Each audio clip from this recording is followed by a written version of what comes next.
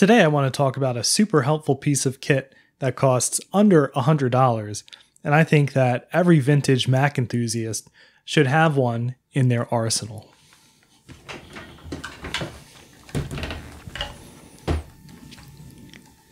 The original Intel MacBook.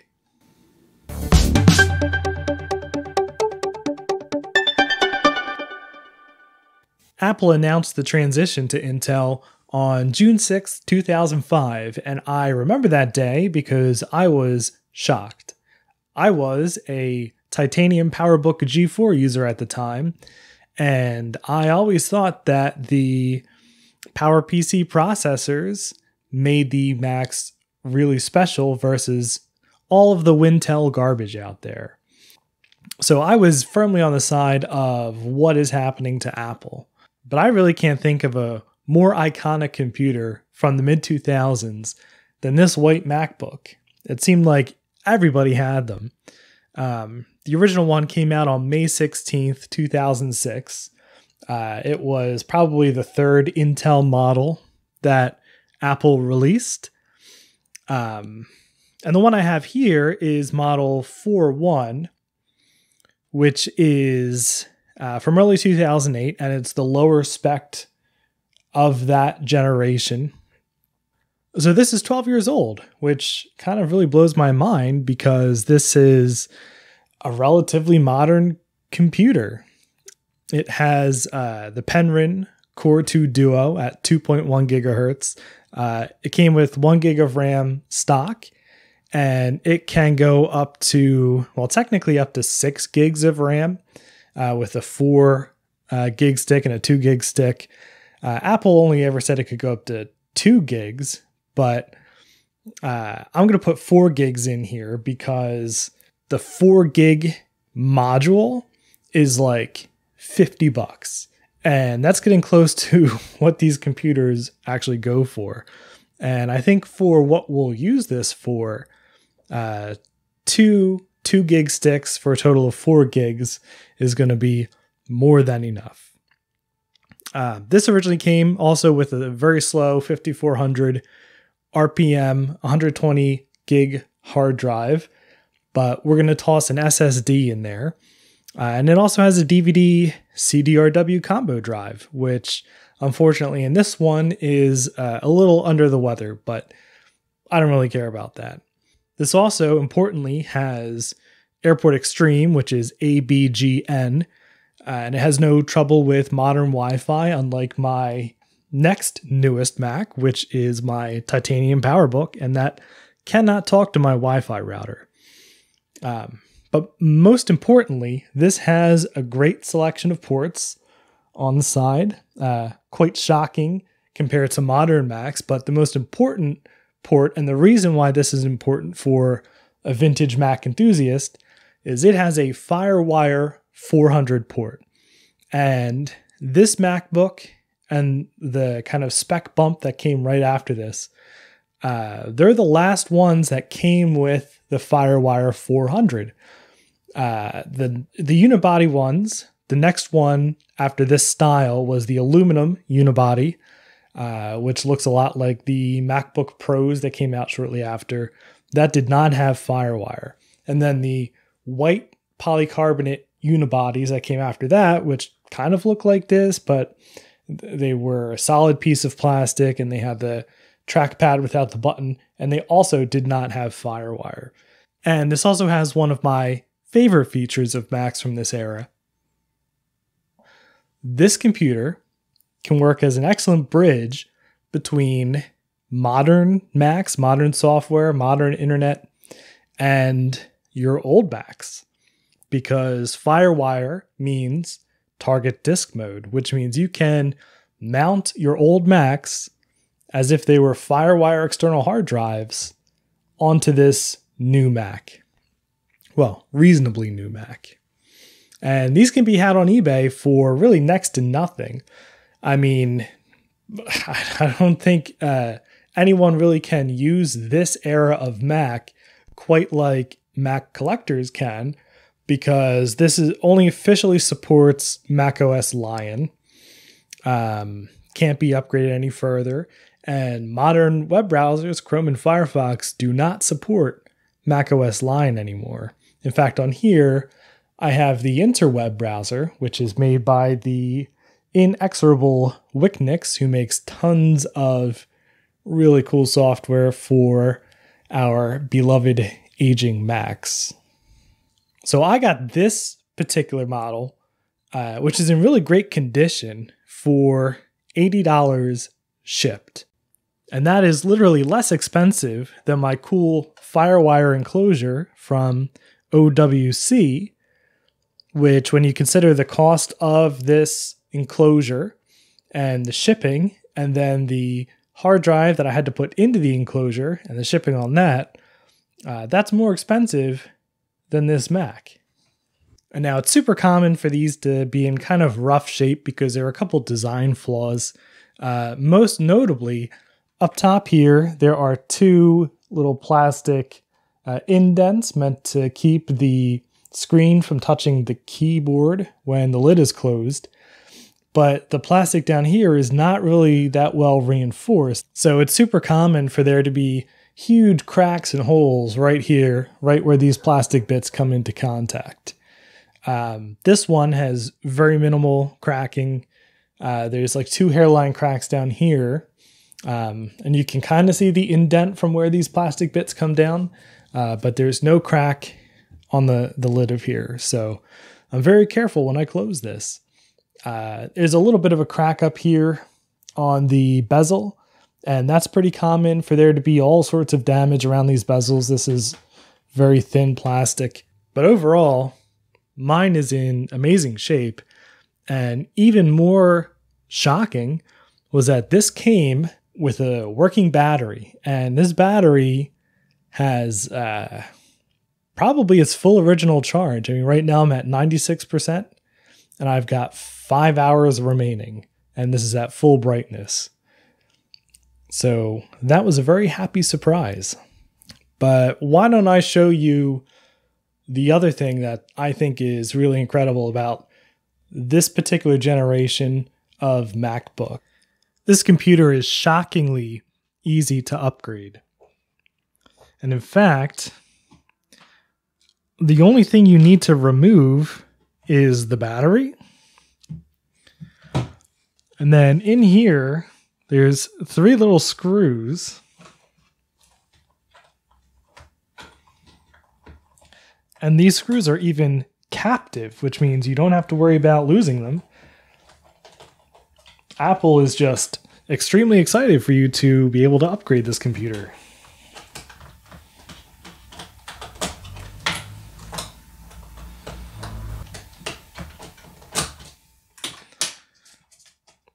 So you just undo those three captive screws and remove the little memory cover. And then Apple even puts little levers in here that you can pull to eject the memory modules. I mean, they went out of their way to let you be able to upgrade this computer. And I think that's amazing. And new memory for this computer, I got these two two gigabyte modules off of Amazon for less than $20. Now, the four gig module is shockingly expensive uh, at $50 for just that module. And I'm not spending $50 to get an extra two gigs of memory in an old computer like this. I think it will run just fine on four gigs. And then the hard drive is just as easy.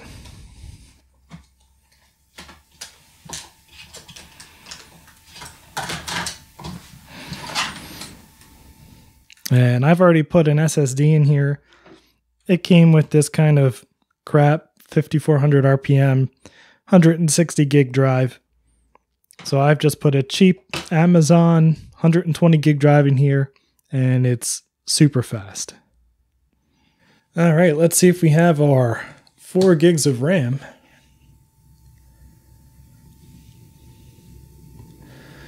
About this Mac. Yep, look at that. 4 gigs of 667 megahertz RAM. Now, another thing I did on this computer that was really convenient because I have this MacBook was I took this cool OWC Firewire enclosure with a 60 gig SSD that I tossed in here, and I turned it into a PowerPC recovery drive. Uh, let me show you what I mean.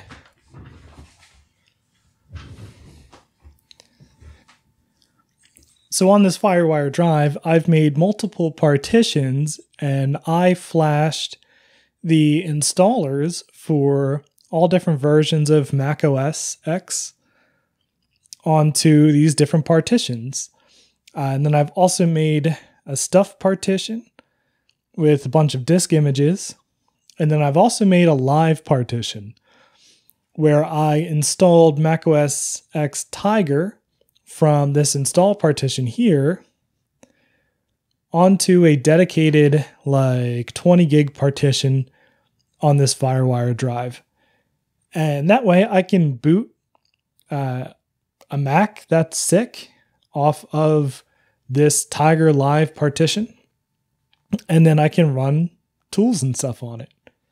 And then I also have a partition on here called Impossible Cat, which is me trying to get the uh, recently leaked beta of Snow Leopard that runs on PowerPC to run on my uh, Titanium PowerBook G4. So I think what I'm going to do is dual boot Ubuntu 2004 alongside macOS 10.7 Lion. Uh, and that's going to let me have a completely up to date operating system choice on here as well as an operating system to help me rescue Macs. And it's actually really shocking. Ubuntu is very fast on here.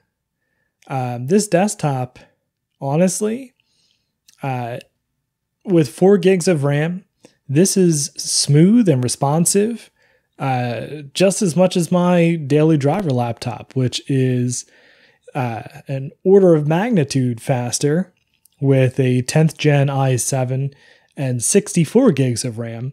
So this with a Core 2 Duo and uh, 4 gigs of RAM now, uh, I think it's probably just fine. Uh, you could do regular web browsing on this with modern up to date Firefox. I wonder if I could even run Slack on here. See, look how fast LibreOffice opens. That's really shocking, actually. Why are we buying all of these crazy powerful computers when you can have this for less than $100? And technically, this version of Ubuntu is newer than the version I'm using on my daily driver, which still has 1910. So this has the very fastest version of the kernel, like 5.3, I think.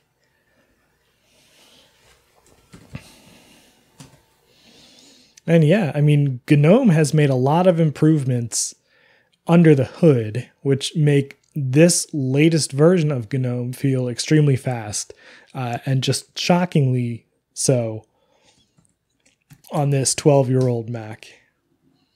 Yeah, so it's running 5.4. And everything's supported. Brightness works, sound works. Uh, wi Fi works if I install uh, the non free drivers.